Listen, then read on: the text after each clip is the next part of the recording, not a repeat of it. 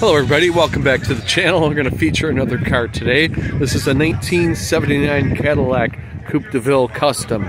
Uh, we see this guy's got some really wicked looking rims on this car. Uh, looking into the interior, uh, it does appear mostly stock, but you know that these seats have been gone over um, and very nicely done. The steering wheel obviously is uh, aftermarket, but again, very nicely done. Uh, gentleman said I could take the video here, so I'm not, you know, doing anything that the owner didn't say I couldn't do. I would never do that to your car. Just want you, to know that. Uh,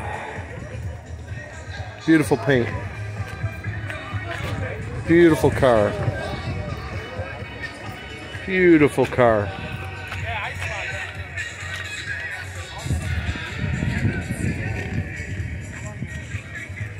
According to the owner, this is an LS2 with LS3 heads and an LS6 cam with a 2800 stall torque converter. That's per the owner, and I have no reason to doubt it.